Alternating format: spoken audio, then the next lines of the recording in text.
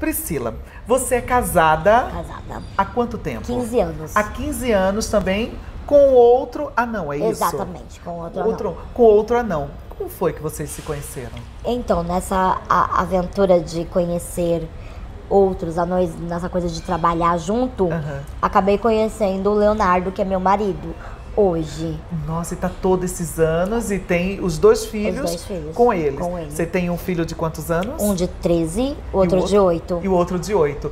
E todos os dois também são anãos. Também são anões. Mas eu, eu fiquei lendo um pouco mais sobre a tua história, fiquei sabendo que no- na tua família não tem histórico Não, de nanismo. não tem, nem na do meu marido. E não por que tem. isso? Ah, é um acidente genético, né? Que eles falam. É uma mutação nova genética. Pode acontecer com qualquer um.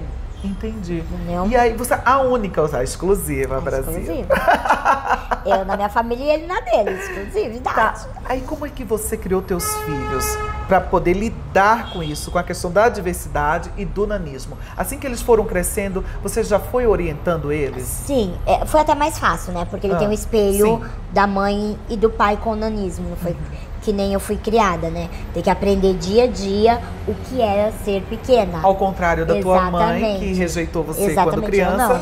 você Mais não rejeitou. Nunca fiquei grudadinha nos meus pequenos. Ao contrário da, da, da tua mãe, que te rejeitou quando criança, você abraçou e amou muito mais os teus filhos, né? exatamente. Tá. E aí eles foram crescendo e foram comentando contigo? Foram, porque quando eh, o mais velho foi pra escola muito novinho. Sim. Com um ano já tava na escola. Então, teve convivência com mais crianças e ninguém tinha nanismo, só ele. Aí ele- as crianças começaram a crescer e ele já meio que não acompanhava o crescimento no mesmo, no mesmo tempo. Aí ele, mãe, por que, que meus amiguinhos estão crescendo tanto e eu não? Aí sentei, foi aí que eu sentei e conversei. Falei, ó, você vai ficar do tamanho do papai ou da mamãe.